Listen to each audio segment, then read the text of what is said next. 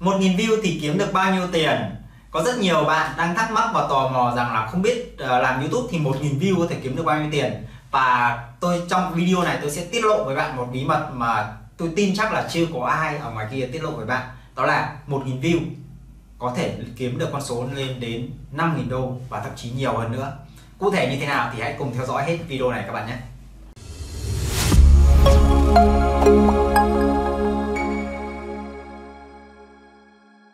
Xin chào, tôi là Đặng Quang Toản và hiện tại tôi đang là nhà sáng tạo nội dung trên YouTube và đồng thời tôi cũng đang là người đào tạo ở trong lĩnh vực này. Và ở trong video này thì tôi sẽ chia sẻ với bạn cách YouTube tính tiền cũng như là à, sẽ chia sẻ với bạn à, biết được 1.000 view trên YouTube thì kiếm được bao nhiêu tiền. Và đây sẽ là một video bí mật mà tiết lộ ra những bí mật mà chưa ai ngoài kia nói với bạn. Cụ thể như thế nào thì bây giờ chúng ta sẽ cùng đi vào nội dung chính như sau 1.000 view trên YouTube. Ở đây tôi sẽ chia làm hai à, cái nội dung chính để chia sẻ với bạn hai cái phần chính. À, 1.000 view trên YouTube có thể kiếm được từ 0,5 đô cho đến 50 đô.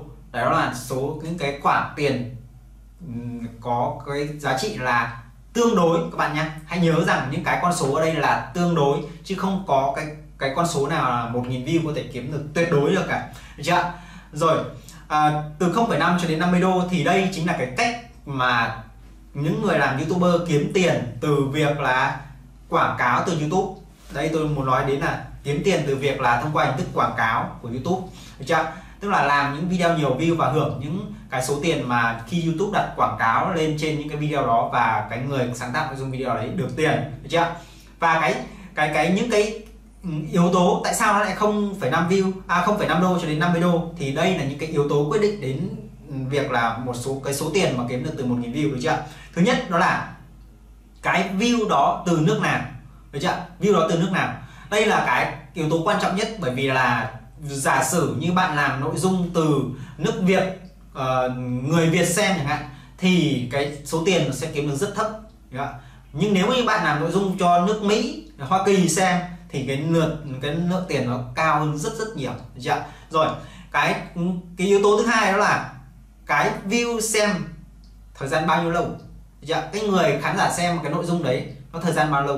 Được chưa thì đây là cái cái yếu tố cũng rất quan trọng quyết định đến số uh, tiền uh, của một video kiếm được hay hay nói cách khác là tiền từ một nghìn view kiếm được nó là bao nhiêu. Yeah. thời gian xem rất quan trọng nha các bạn nhá và yếu tố thứ ba đó là đối tượng khán giả là ai cái đối tượng khán giả là ai này nó sẽ quyết định đến việc là cái số lượng lượt kích vào quảng cáo đó bao nhiêu lần. Chưa?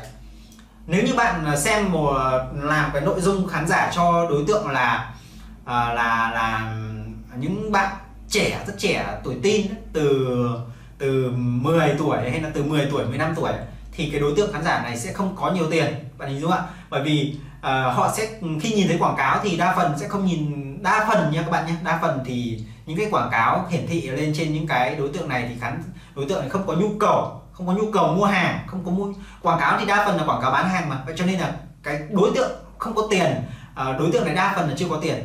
Tuổi tin từ 10 đến 15 tuổi đa phần là chưa có nhiều tiền. Vậy cho nên là à, sẽ cái tỷ lệ lượt uh, click vào xem quảng cáo này nó sẽ rất thấp. Và hình dung ạ. Thế vậy cho nên là khi click vào thấp thì đương nhiên rồi cái việc ờ, cái quảng cáo đấy cũng sẽ ừ, cái cái video đấy cũng sẽ không được nhiều tiền bởi vì tiền lớn nhất nó là từ lượt click và quảng cáo chưa? Rồi à, đấy là đối tượng khán giả nha các bạn nhé.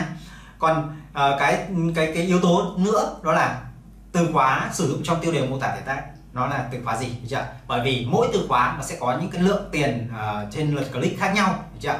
Rồi và cái thứ hai tôi muốn chia sẻ với bạn mà tôi tin rằng có rất nhiều bạn đang quan tâm đến à, nếu như bạn đang là người tò mò về um, tiền kiếm được trên YouTube là bao nhiêu thì tôi tin nó có thể đây là một cái mà nó bạn sẽ không thể tin được được chưa còn đâu nếu như bạn đang là một người đang làm YouTube rồi đang ừ, thực chiến với YouTube rồi đang kiếm tiền với YouTube rồi thì đây cũng có thể là một cái ý tưởng. Nếu như bạn chưa biết thì đây sẽ là một cái ý tưởng cực kỳ lớn uh, ờ, cực kỳ hay để cho bạn có thể triển khai vào những cái kênh YouTube của bạn hoặc là triển khai cái đường hướng làm YouTube của bạn. Đây là cách kiếm tiền nhiều nhất của những YouTuber ngoài kia mà hầu hết mọi người không nói cho bạn biết được chưa hãy theo dõi thật kỹ và tôi sẽ lấy một cái ví dụ minh họa à, với bạn trong cái việc kiếm được cái số tiền từ 500 đô đến một 5.000 đô trên 1.000 view như nào.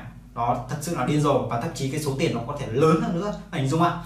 Đó là chúng ta sẽ làm YouTube bán hàng được chưa cái cái việc mà chúng ta khi làm YouTube từ quảng cáo YouTube này thì cái lượng tiền nó kiếm được rất ít các bạn thực ra là có những người làm được hai ba nghìn đô năm nghìn đô 10 nghìn đô trên một kênh đó.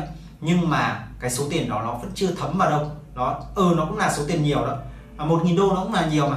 À, so với mặt bằng à, tiền lương mà mọi người đi làm công à, văn phòng công ty bây giờ thì một nghìn đô đã là một cái vị trí rất là quan trọng ở trong công ty rồi thì mới được hưởng cái cái số tiền đấy được chưa? Đó thì nhưng mà nó vẫn chưa thấm thía vào đâu so với việc là chúng ta làm youtube để bán hàng được chưa? Rồi và tôi sẽ chia sẻ thêm với các bạn. Tôi sẽ lấy cho bạn một ví dụ đó là bán biệt thự đi chẳng hạn.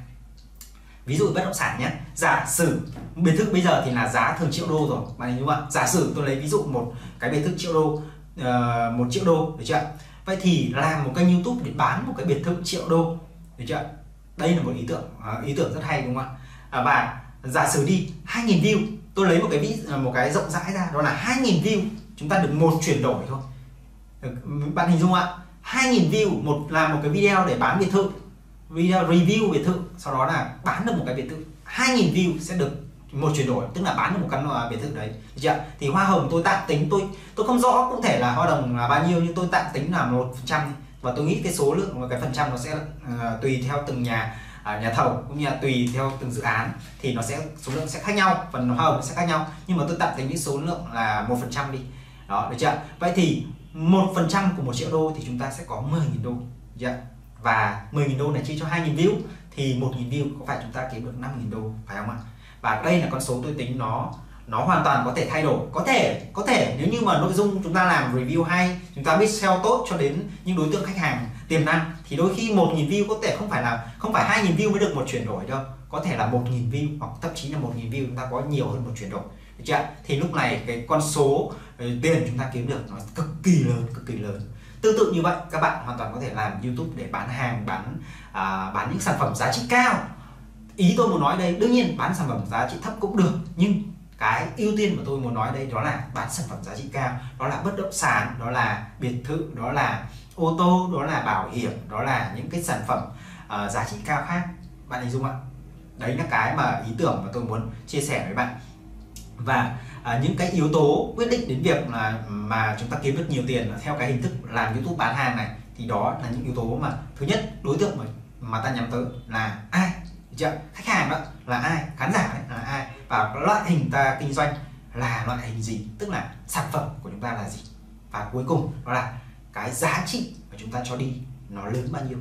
Đó nếu như bạn làm một cái nội dung video ra mà nó không đem lại quá nhiều giá trị cho khán giả thì à, cho khán giả cho khách hàng thì cái lượng tỷ lệ chuyển à, đổi à, từ lượng view ra khách hàng nó sẽ thấp đi. Còn nếu như bạn làm một video hay làm một video trao được giá trị nhiều trao được lòng tin nhiều cho khán giả thì đương nhiên cái tỷ lệ chuyển đổi nó sẽ cao hơn rất nhiều.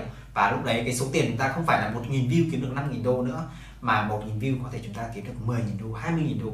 Đấy là cái sự thực mà đã có nhiều người ngoài kia đang làm được rồi.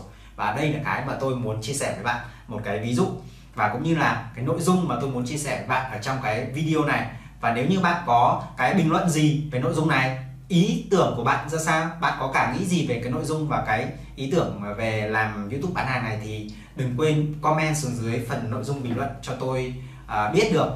Và nếu như bạn thích cái nội dung video này có gợi mở cho bạn một số cái điều gì đó mới hay là bạn nhận được một cái giá trị gì đó từ video này thì hãy ủng hộ tôi bằng việc là bấm vào like video này và đừng quên bấm vào nút đăng ký kênh, sau đó bấm vào quả chuông để theo dõi những video tiếp theo của tôi, bởi vì tôi sẽ còn quay lại với những nhiều nội dung video hữu ích hơn nữa về kiếm tiền trên YouTube. Còn bây giờ, xin chào và hẹn gặp lại bạn ở những video tiếp theo.